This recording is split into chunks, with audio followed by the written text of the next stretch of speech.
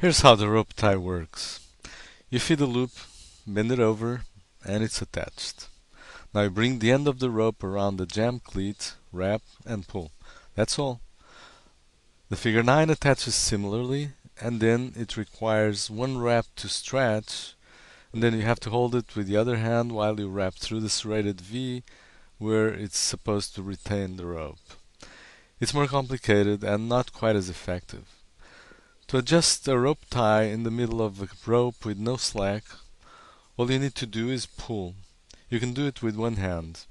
Now with the figure 9, first you have to loosen up the rope to unhook from the V-groove, which can be a problem when there's no slack on the rope. Then you can tighten and hook it again. It's a complicated operation.